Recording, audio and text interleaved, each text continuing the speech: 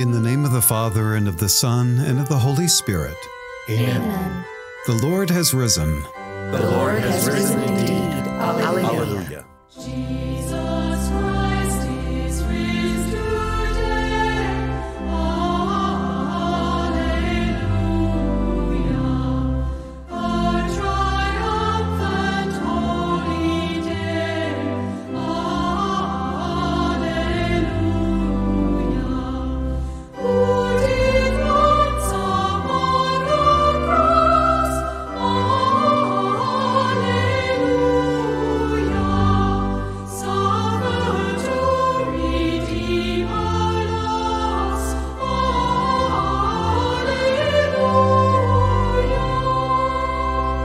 Brothers and sisters in the risen Christ, welcome to the Monday of the octave of Easter. And if you don't know, an octave is a word derived from the Latin that means eight. And so the octave of Easter is an eight day period of celebration that begins Easter Sunday, yesterday, and ends with the second week of Easter or Divine Mercy Sunday.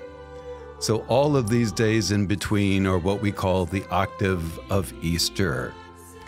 So, friends, here at the God Minute, we're opening our days of prayer during the octave with the hymn that you heard here that says it all Jesus Christ is risen today. Something we must never forget, and the promise that comes with that. I'm so glad you've joined us in prayer. Thank you.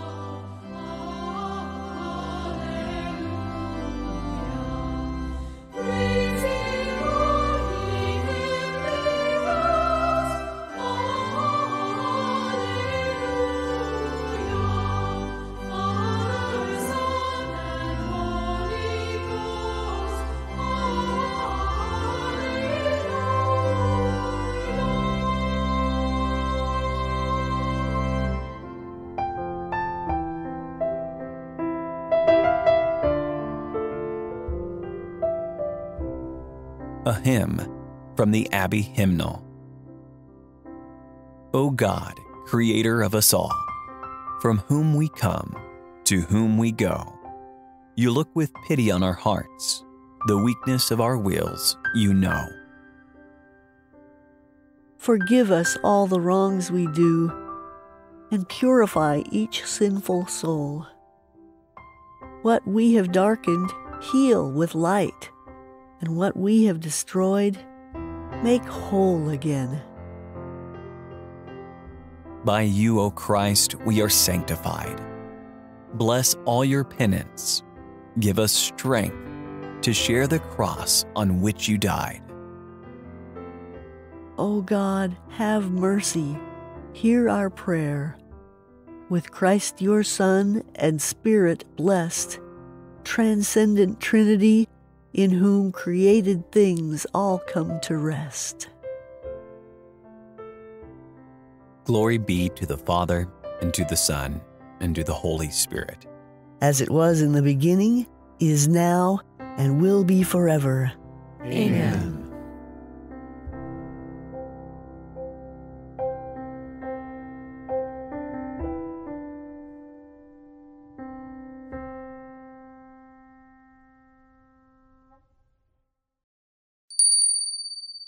A reading from Deuteronomy chapter 31, verse 8.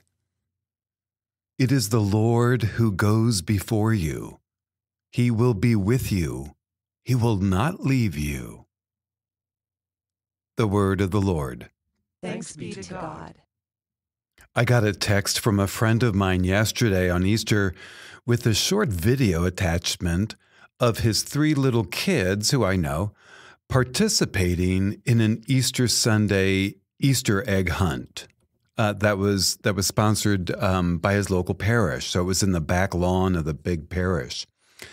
And what looked like, you know, upwards of, gosh, 50 or 60 little kids all dressed up in their Easter outfits, yelling and screaming, running through the grass, trying to find the little hidden treasures. oh my gosh, it was so adorable. And well, you know, Easter bunnies laying eggs is not a particularly religious thing, like Santa at Christmas, but nonetheless, it is something that I too remember as a kid, and I used to always look forward to. I don't know if it was just the discovery of things you can't see and finding them, or if those things were chocolate, right? But uh, oh, it's always awesome. But anyway, I was thinking of that with the beautiful line of our scripture today.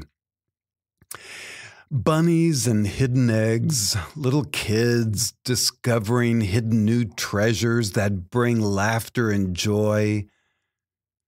Is it so different from the miracle and the promise of Easter joy?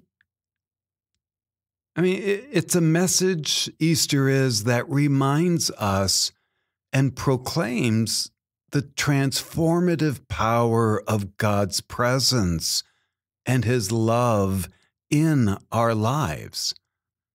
A force that can bring light through darkness.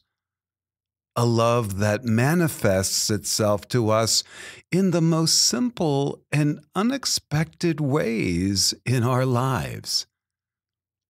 You know, I, hidden behind gestures of forgiveness and acts of kindness is the revelation of God with us, here and now.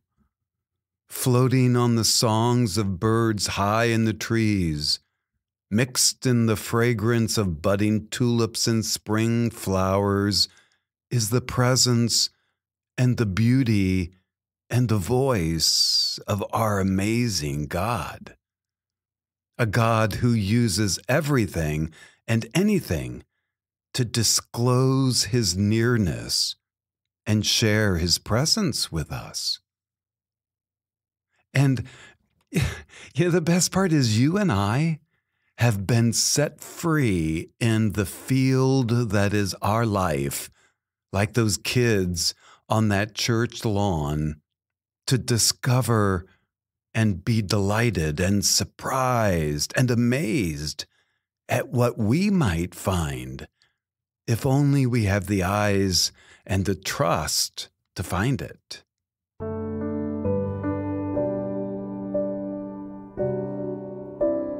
So, friends, let's go out this week, this octave of Easter, and let's stretch it out to the month, maybe even the year and uncover that goodness and the wonder of God with us. Find Him in the laughter of friends and the faces of the poor. Hear His voice in the warm spring breeze and feel His embrace as you curl into sleep under the weight of your quilt. Find those Easter eggs scattered everywhere but as you do, don't ever forget the one place God needs no discovery, the place we don't find Him.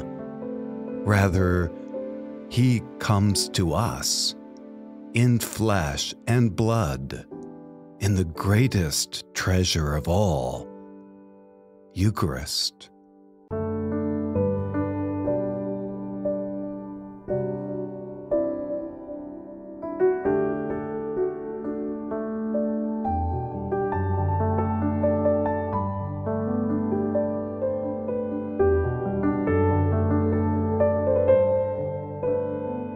gathered as a family of faith, we pray. Our Father, who art in heaven, hallowed be thy name. Thy kingdom come, thy will be done, on earth as it is in heaven. Give us this day our daily bread, and forgive us our trespasses, as we forgive those who trespass against us. And lead us not into temptation, but deliver us from evil. Amen. And let us pray. Dear God, we lift our hearts to you. We lift our voices to you. We celebrate the greatest day in history when your Son, Jesus, rose from death, defeated darkness, and bathed the world in stunning resurrection light. May we ever live to praise your holy name. And with a deep gratitude of Easter joy, we pray through Jesus our Lord. Amen.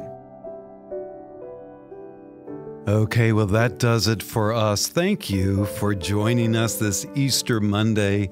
May God's blessing go with you now in the name of the Father, and of the Son, and of the Holy Spirit. Amen. Have a beautiful day, my friends. Thanks again for joining us, and we'll see you tomorrow.